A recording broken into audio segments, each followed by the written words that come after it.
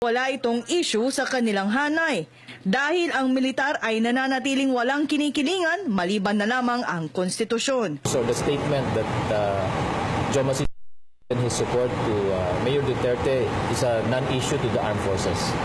Uh, it's a non-issue because we have come to know the mayor as having the ability to work with all sectors of society, whether they be in the center, the left, or the right. So this is an ability that he has, or a skill, a political skill that he has uh, developed through the years to serve his constituency and the government. And Dagdag pa ng opisyal na hindi ito ang unang pagkakataon na nag-endorso ang grupo sa mga politikong tatakbo sa isang posisyon. Anya, madami din na itutulong si Duterte sa militar. At isang halimbawa ay kadalasang siya ang nakikipag-ugnayan sa NPA kapag may bihag na sundalo o pulis ang grupo at sila ay nakalaya dahil sa kanyang tulong. Noong nakaraang mga eleksyon, meron naman silang pinapanigan ng mga kandidato.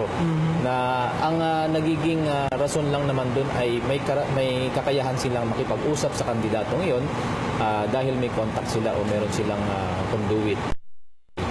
Ah, meron silang connection. So sa sa issue naman kay Mayor, ipinakita naman niya ito matagal na.